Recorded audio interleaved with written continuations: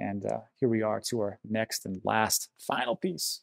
So this one, it's just real quick. Um, we talked about this again before, but Tesla, you know, uh, they put money into Bitcoin. But the big, the, the big thing is, hey, now you're going to be able to buy a Tesla with your Bitcoin or your solar panels or the flamethrower or the what I don't think you do anything with the boring company yet. Or maybe maybe you can do now you probably can't buy you, you, you couldn't buy stock into SpaceX because that would be a, a, straight swap and that doesn't exist.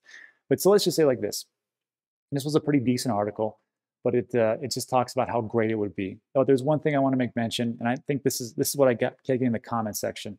Hey Rob, I'm going to uh, buy uh, a, whatever it is, it doesn't matter. I'm, I'm going to buy a Tesla. I'm going to buy for this and that in Bitcoin because that's what I'm waiting for because that's what the new world order is going to be. Sure, right, whatever. But here's the thing: just remember that uh, there's really four times when you get taxed. That is uh, when you go from crypto to fiat. So you know you have Bitcoin, you cash out. You go from crypto to crypto. You have Bitcoin and you, and you trade it for Ethereum. You have Bitcoin, you trade it to a stable coin. That's crypto to crypto. That is a that is a taxable event um, you go for, and this is the big one, uh, goods and services.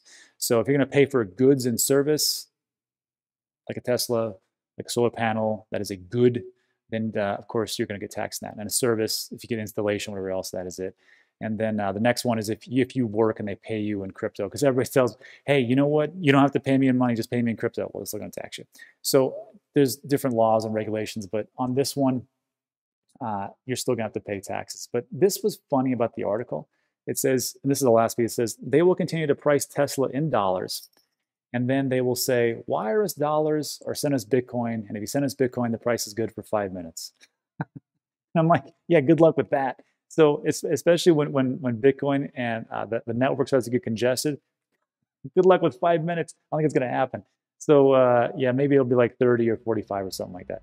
But uh, it was just a quick piece article. And again, move the needle. More people that see it, uh, the better off it is for everybody. And this is what's going on today uh, in the market. So uh, thanks for sticking with me. If you made it all the way in, hey, thanks. Thanks for sticking with me. If you liked the video, uh, give it a thumbs up. It really helped me. Also, you can subscribe, and because all the things that we do is pretty much time sensitive. Uh, a lot of things that we talk about as far as like uh, daily news and what is moving the market. So that'd be great. And uh, that is all for today. So uh, I'll also put up two videos on the left and right. I'll have YouTube do its magic, and that is all. So thanks again. I appreciate it, and I'll see you on the next one.